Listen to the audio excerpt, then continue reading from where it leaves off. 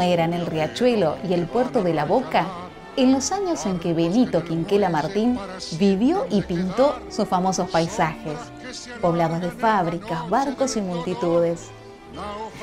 La autoridad de Cuenca Matanza Riachuelo y el Museo Benito Quinquela Martín homenajean al pintor que retrató en su obra la memoria de un riachuelo activo, navegable y desbordado de trabajo.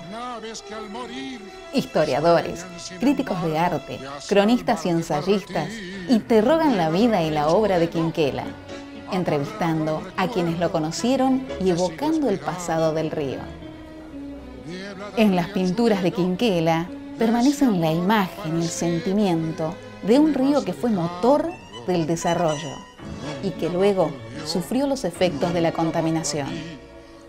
Hoy atraviesa una recuperación llevada adelante por la Acumar, junto a los habitantes de su cuenca, con el objetivo de volver a incorporarlo a la vida de sus barrios. Bebe tu nostalgias en el sordo cafetín, llueve sobre el puerto mientras tanto mi canción llueve